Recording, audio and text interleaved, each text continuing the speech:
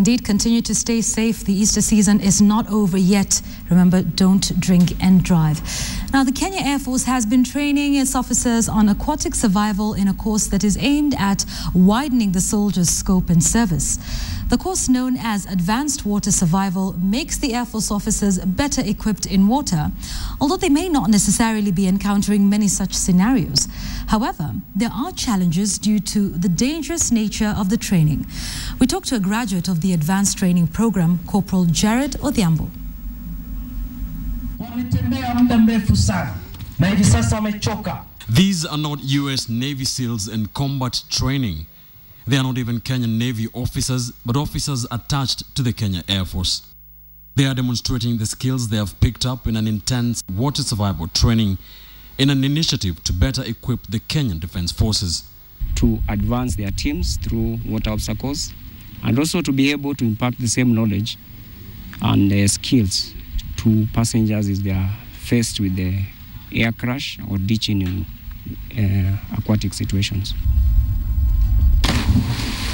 The training involves three phases basic, intermediate, and the advanced level, which is the most grueling and involves assistance from the soldiers' Navy colleagues. The trainees are taught many survival tactics drawn from actual combat situations. This is a survival tactic in water for a soldier whose both arms and legs are bound. And here's a drill meant to equip officers to survive in water if many of them are bound together. It teaches unity and teamwork in extremely difficult and dangerous situations. tukienda Kismayo some of us uh, wakiwa wanapelekwa na amphibious uh, boat uh, walikufa juu they couldn't rescue themselves The training also teaches many life saving techniques, like this combat situation where officers are in water and have a number of their colleagues injured. They are taught how to be in sync, swimming ashore carrying their injured comrades while still covering each other from enemy fire. However, the training, like many other military exercises, can be dangerous. If a participant feels that he's not able to, then he's free to say before we start the course.